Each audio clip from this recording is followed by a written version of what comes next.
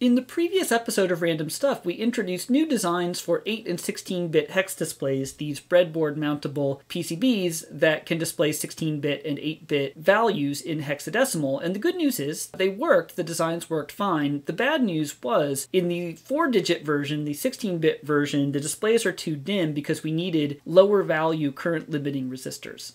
So in this video, which will be quite short, we will retrofit the 16-bit display with the lower value current limiting resistors. I just received a whole bunch of components from lcsc.com. That order also included some blue LED displays that I talked about in the previous video, and the good news is they work really well. The bad news is they're not actually going to work in these boards. So in a future episode, we will come up with final designs that will work with the new blue LED displays.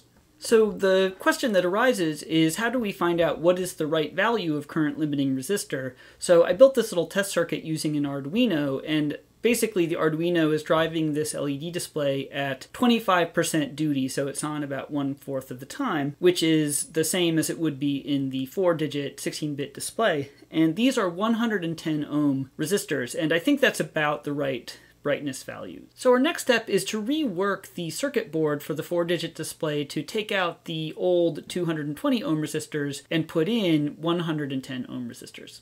Okay, so here is our reworked 4-digit display with the 110 ohm current limiting resistors.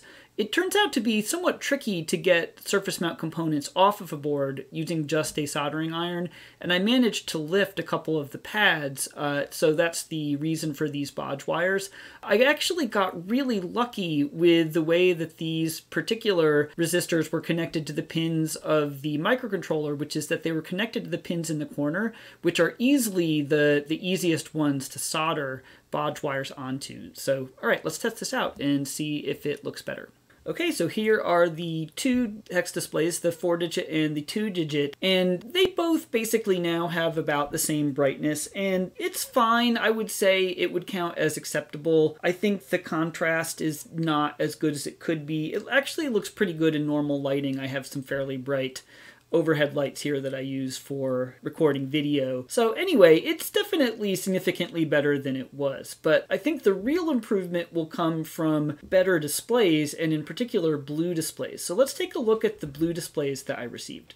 Alright, so here's one of our blue segment displays that just arrived from lcsc.com. These were about 40 cents each, which is really quite good.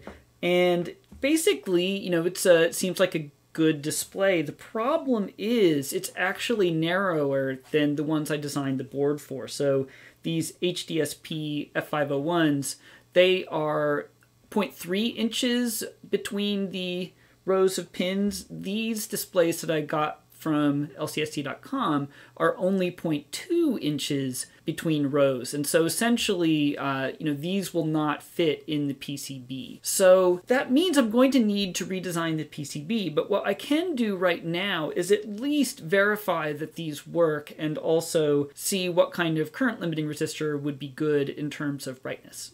So I suppose the lesson here is when you are ordering parts, make sure that you check not only the electrical specifications such as the pinout, but also the physical dimensions to make sure that it is what you expect. All right, so in order to test one of these blue LEDs with my Arduino test circuit here, I actually mounted it on a little proto board in which I connect each of the segment display pins to a pin on a pin header. This is purely just so it will fit in the board. It would be too narrow to, to bridge this gap between the, the two sides of the, of the breadboard here.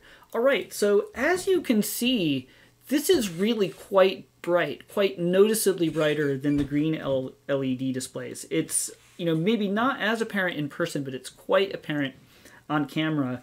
Also, you notice that it looks white on camera. It is very noticeably blue in person, so it does display uh, as blue in, in real life. But in any case, I think this is really fantastic in terms of readability for filmed video. So I think this is definitely a superior LED display to use. So essentially what I'm going to need to do now is design new versions of the PCBs to fit this narrower display. In a way, that's actually an advantage because it means the boards will be even smaller than the current versions that use the, the larger displays. So anyway, that will be the next step in this project.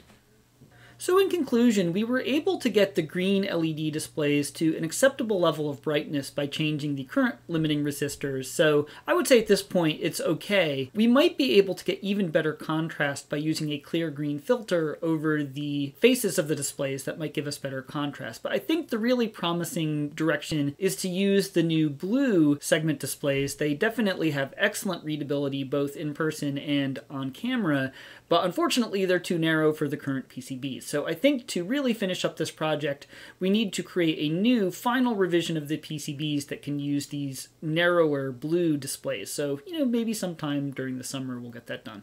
Okay, I will see you in the next video.